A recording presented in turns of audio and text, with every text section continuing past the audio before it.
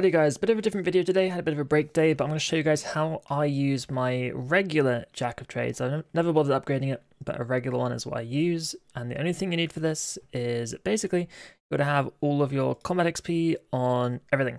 Very important. So let's get started. So go to Taverley Lodestone over there, you come up, activate the aura, you chop this tree, just like that, and then you bladed dive over to the fishing spot, a little bit like that. You fish a fish, and then you diagonal surge over here. You attack a chicken, then you light the fire. You cook the crayfish, and then you disassemble the cooked crayfish, and then that should be 10 right there. Check that aura, yeah, all 10. Then just blade of surge this way. Ideally, don't bump into a tree. And then, uh, yeah, talk to Juan, and then you're good to go. And if you're me, you get your book, you use it in agility. You meant to use it in Herblore, but I CB with agility. So, uh, yeah, that's your Jack of Trades guide. Enjoy.